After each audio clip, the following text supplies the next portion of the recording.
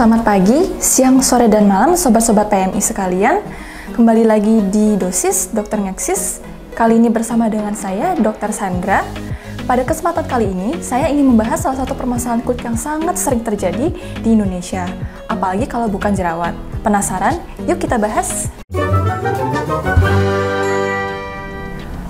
Acne vulgaris atau yang lebih kita kenal sebagai jerawat adalah masalah kulit yang terjadi di mana pori-pori kulit atau lebih tepatnya folikel rambut tersumbat oleh kotoran, debu, minyak yang berlebihan, dan sel kulit mati.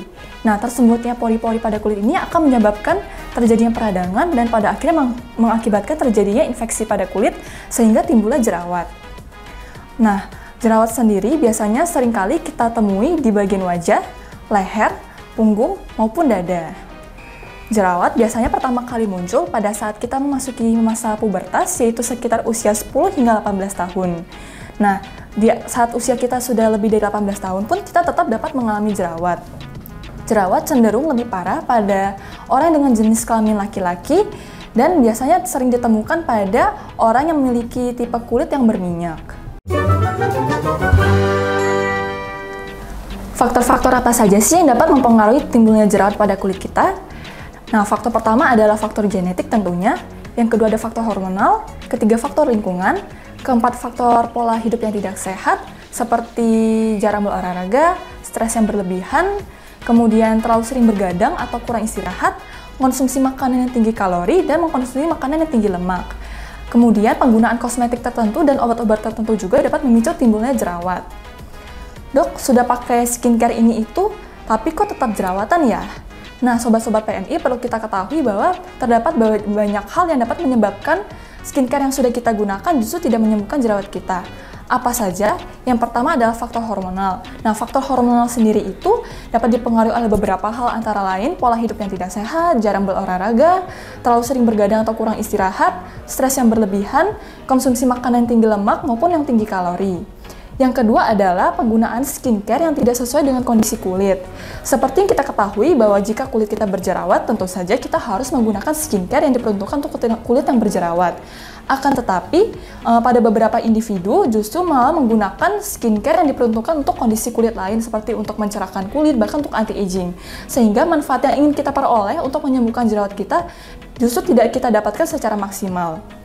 Yang ketiga adalah penggunaan kosmetik yang dapat menimbulkan jerawat. Sama halnya dengan skincare, jika produk kosmetik atau make up yang kita gunakan tidak cocok dengan kulit kita, justru akan menimbulkan jerawat pada kulit kita. Yang keempat adalah terlalu sering mencuci muka. Normalnya kita mencuci wajah sebanyak dua kali sehari menggunakan air bersih dan sabun wajah. Akan tetapi pada beberapa individu yang dengan tipe kulit yang berminyak, cenderung ingin mencuci wajah lebih sering. Kenapa? Karena itu menimbulkan rasa tidak nyaman akibat produksi minyak yang berlebih.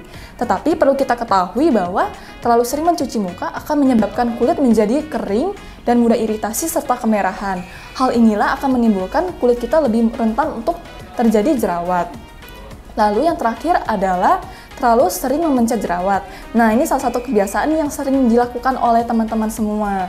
Memencet jerawat apalagi dengan tangan kotor justru akan menyebabkan jerawat menjadi lebih meradang, menjadi lebih parah dan justru akan menimbulkan jerawat di tempat yang baru.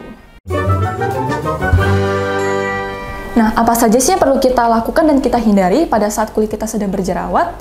Yang perlu kita lakukan jika saat kita berjerawat adalah kita dapat kompres air hangat pada daerah yang berjerawat.